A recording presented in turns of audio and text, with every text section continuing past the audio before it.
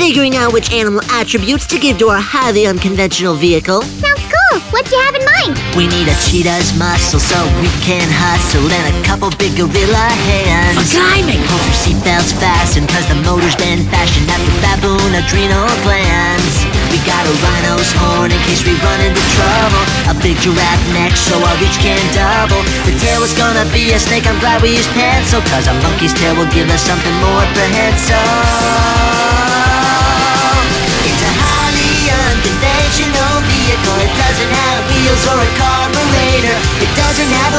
Windshield, it doesn't have wings. It doesn't have a heater, but we're at the equator. So I guess that's not so apropos. Cause it wouldn't need a heater even if it wasn't such a vehicle.